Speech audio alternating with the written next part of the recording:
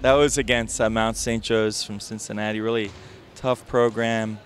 Uh, maybe the top three. They're in the top three in the Midwest. So uh, I was really happy. I mean, looking down the bench after the first set, all the guys were moping, kind of sad, and but they uh, responded well. I mean, we started passing better. You know, that they had a tough jump serves, and um, once we start passing better, we can get the balls to our middles, and things kind of fall into place.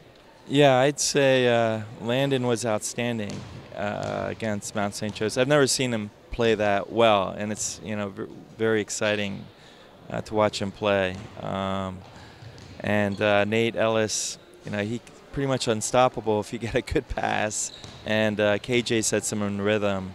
Um, he's got that senior swing. He can see the block and turn the ball or just go over the block. So it all starts with the pass, and that's Derek and Mike and Landon laying it up there. And yeah, I, you know, I was debating starting, you know, the um, the guys that hadn't played in the first match because I didn't get a, a lot of chances to sub in the first match. But uh, it's still a learning process. I want our starting unit or whoever's out there, you know, that starts the match.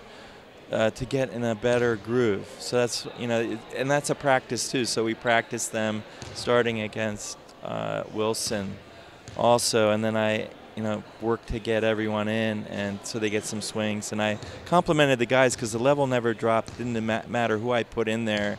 I mean, Nate Bossy came in and just powered a bunch of balls down, and Kyle, and you know, it's too many to mention. But I, I told them all that. Um, the level of play never drops when you come in, and I know it's difficult because you're cold, but they all, you know, just jumped in there and were finishers. And and the last set, I think, was uh, the win with the greatest margin with you know everyone playing. So.